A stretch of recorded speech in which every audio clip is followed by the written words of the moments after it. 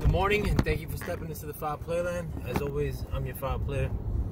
Um, I have to excuse me because I'm using a uh, chapstick to hold up my phone whilst I drive. Um, I just wanted to make a follow-up video regarding um, my last boxing video, which I made, and um,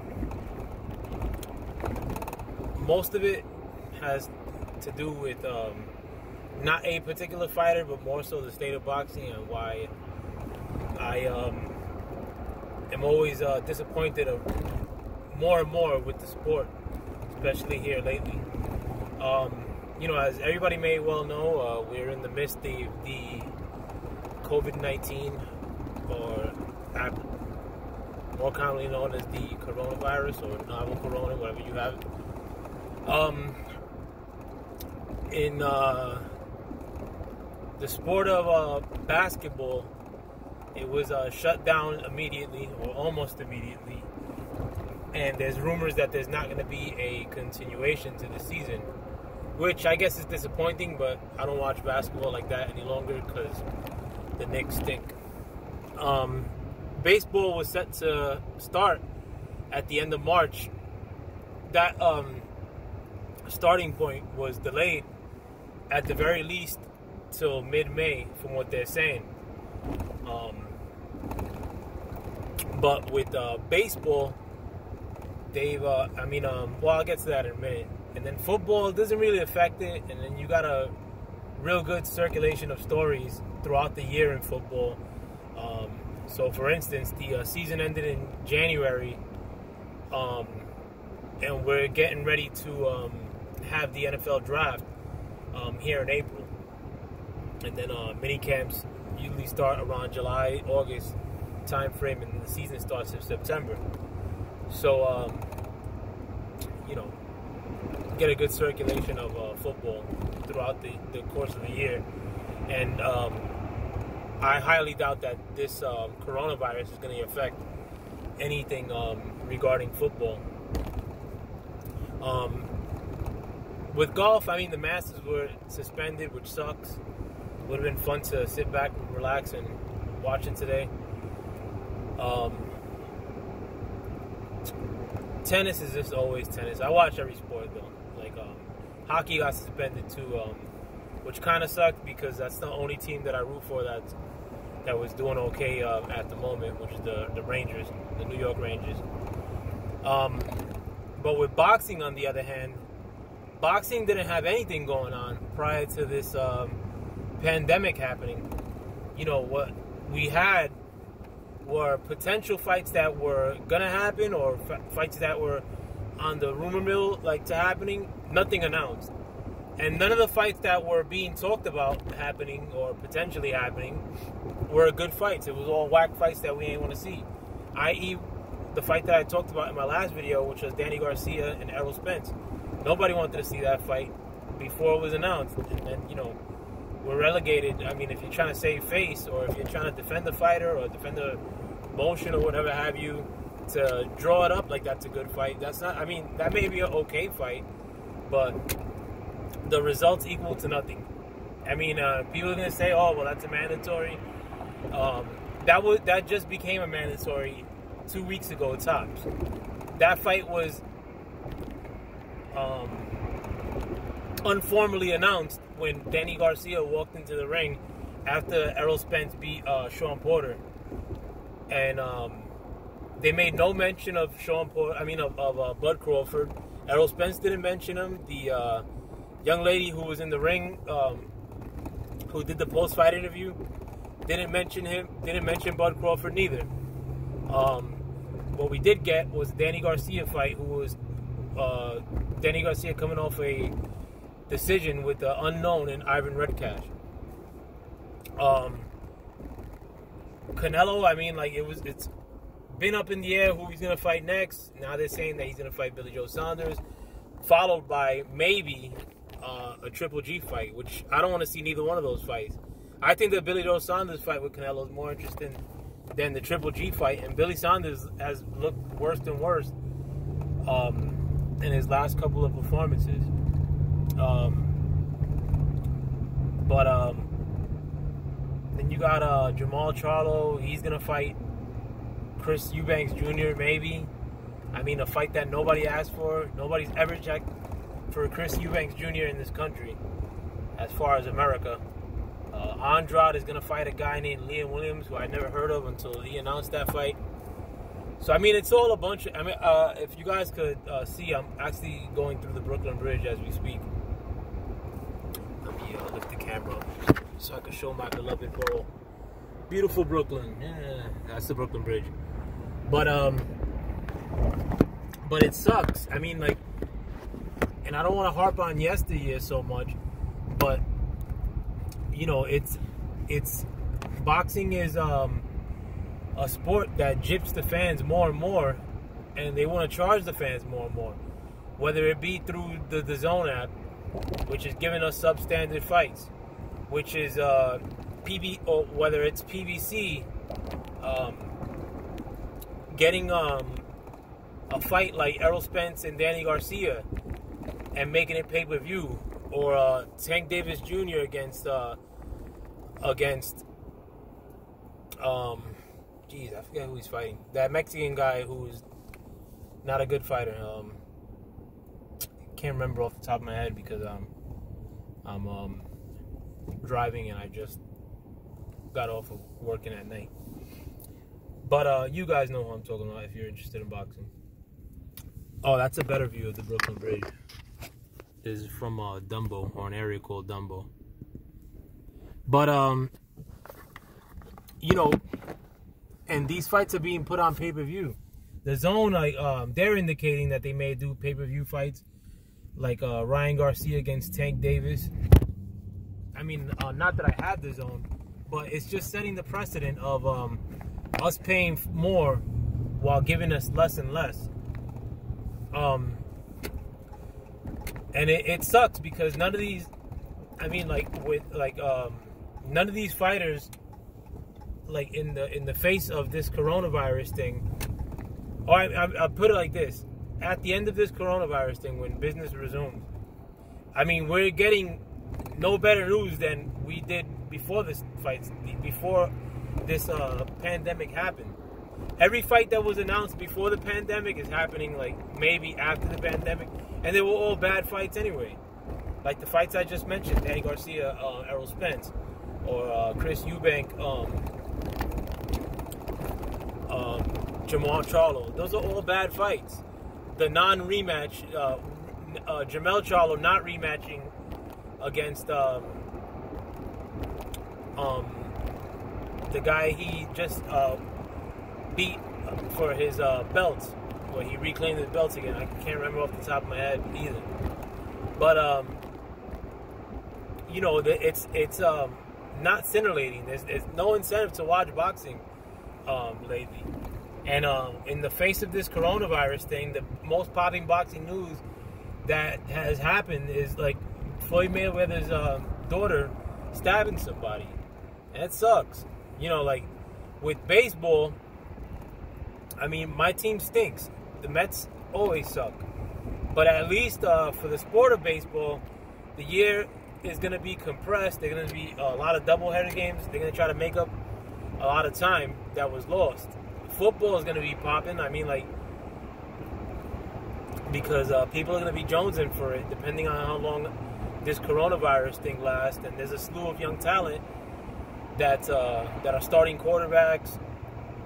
Um, but with foot with uh, with boxing, we get none of that. I mean, like we get like no nothing good is happening right now. The talent that's fighting right now particularly at welterweight. I mean, you don't know whether they're like world class or not because they don't take world class risks. They don't fight each other. I mean, um, and I, I, I'm sorry, but I only pay for world class events. And a, a, lot of people, like in my last video, commented that, um, you know, that it's a PBC problem, right? Like, and my my whole thing with that is that boxers and promoters lately take the, the, the fans' goodwill and they'll put out a little bit of uh, meat for you to chew on. Pause. Um, as far as them giving you the impression that they're willing to look for the smoke or wanting all the smoke, So, for instance, Errol Spence, um, when he first started coming onto the scene, or you first started really hearing his name as a welterweight, he was calling out Keith Thurman. That was years ago. Keith Thurman's taken like two injuries since then. He was on the shelf for like two years, and uh, now, um, and and back then, uh, Errol was chasing all the belts. That was the um, the uh, the script he was running with then.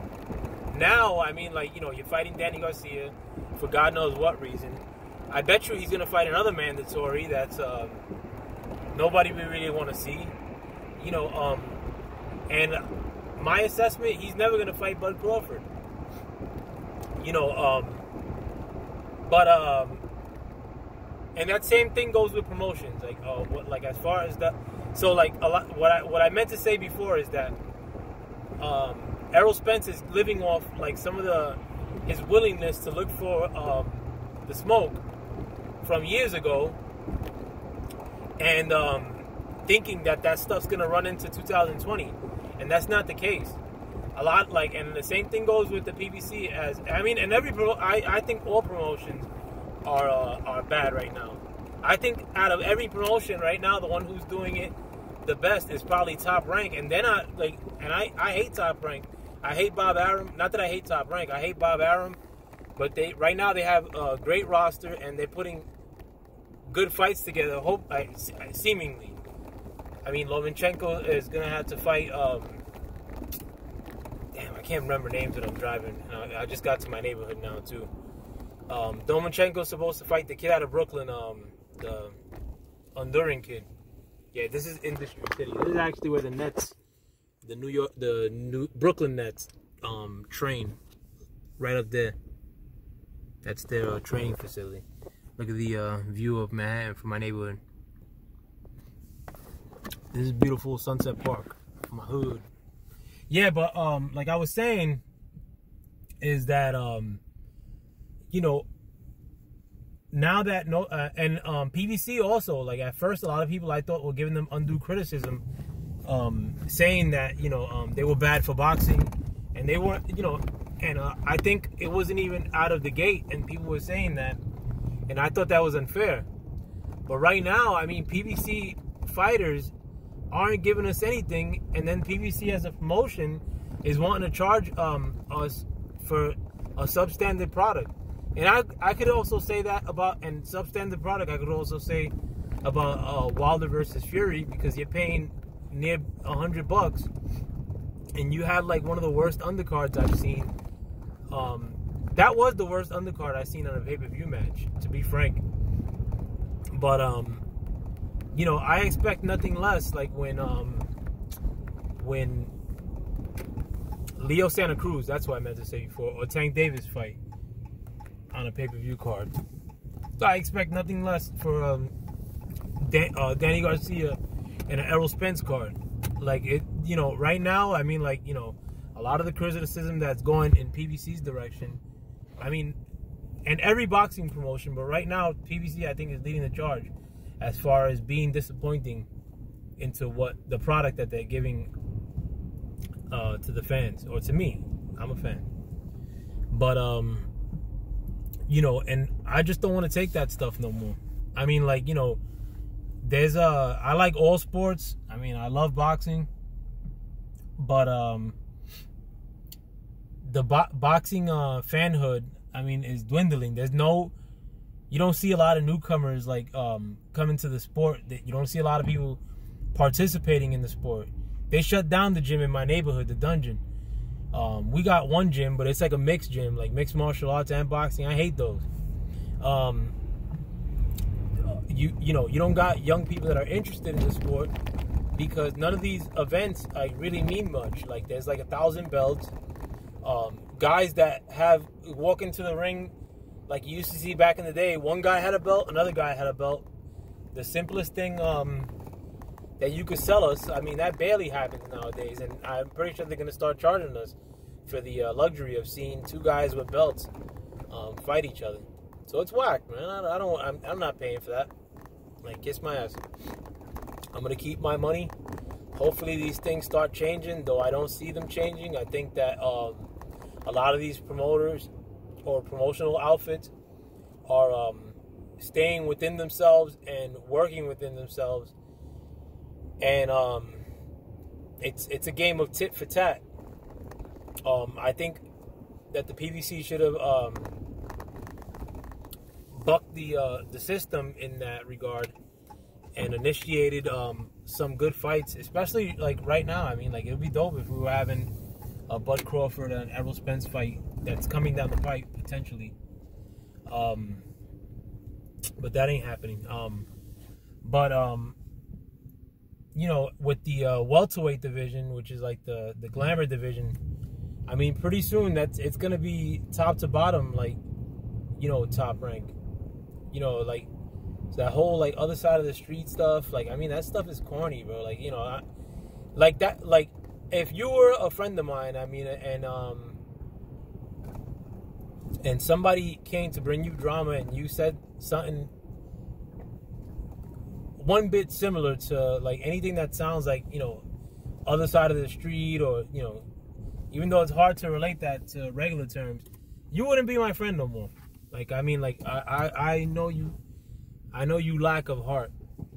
You know what i'm saying? Like and that's what these um these boxes um and these uh promotions are doing. And like they think that they're sounding like cool or, or um or um tough or business savvy to the point that you know we're not up to like you know how boxing works. You know um and they think that they're gonna get um consumers out of me or other boxing fans. I hope they get less consumers. I mean like i love seeing like athletes get paid particularly boxers but um i'm starting to like wish ill upon them in that department or like i'm starting to hope that they can't make money unless they're taking good fights. You know like it because it, it's it's ridiculous what's happening with the sport. Um and i don't want to stand for it no more. I'm seriously considering um becoming more of a casual fan like because uh becoming a boxing observer is one of the most frustrating parts of my life. Like really really really looking into the business of boxing or finding out trying to find out who's uh, looking to fight who. And it's one like I mean I really started doing that in the last 10 years even though I've been a boxing fan for um, decades. But I think I started looking at the business of boxing right at the time when boxing was like at its wackest business wise and fights wise um, let me know what you guys think whether you agree disagree um, any objections gladly take them. Any arguments, whatever. I ain't doing shit. Corona got us all locked down. But uh, with that, I'm out. Hope you guys uh, take care of yourselves uh, in the face of this coronavirus. I don't know how to turn my camera on. But um, hope you guys are taking care of yourself and um, hoping that this uh, coronavirus um, thing goes away and resume to uh, business as usual. I'm looking around my neighborhood as we speak, and normally this is like pretty packed, and you guys can see like ain't shit going on. This is I don't live here no more, but I'm coming to check uh, on my brother. But uh, yeah, there's a couple heads out now, but pretty dead um, for the most part in uh, beautiful Sunset Park. But with that, guys, I'm out. Take care of yourselves. May the gods bless you. Peace.